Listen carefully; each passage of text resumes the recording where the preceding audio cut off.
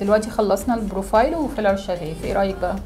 والله النتيجة رهيبة دكتورة تسلم الأيادي. نورتي. كثير حبيت الشفايف لأنه اعطيتيها حجم بس natural وما شاء الله إيدك خفيفة. نورتينا، فرصة سعيدة إن إحنا شفناك. أنا شكرا.